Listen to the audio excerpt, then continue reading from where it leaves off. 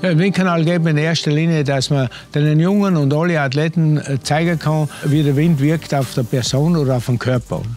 Also wir sehen hier genau im Windkanal, in welcher Position das die besten Werte sind.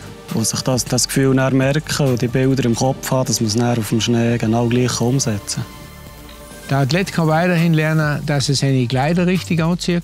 Ein Helm, Handschuhe. Und der Trainer kann sehr viel profitieren, dass er den Athlet beobachtet, oben nachher mit der Idealposition von Windkanal noch etwas verbessern kann. Ja, vom Materialtesten her, das macht es meiste Karl. Bei welcher Luftfeuchtigkeit das welches Material am besten geht, das hat er im Griff.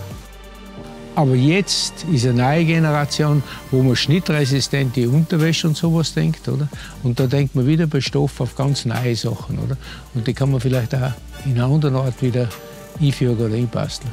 Ich will mich da nicht auf, auf Hundertstel oder auf Tausend festlegen, aber wenn du ein Hundertstel oder zwei Hundertstel Arena verlierst, oder? Kannst du es mit, mit einer Optimierung von dem Material vielleicht gewonnen haben. Für mich ist es äh, sehr eindrücklich und wunderschön zu sehen, wie Karl mit über 80 noch gegen Vollgas dabei ist und ja, so viel Gas gibt für den Skisport.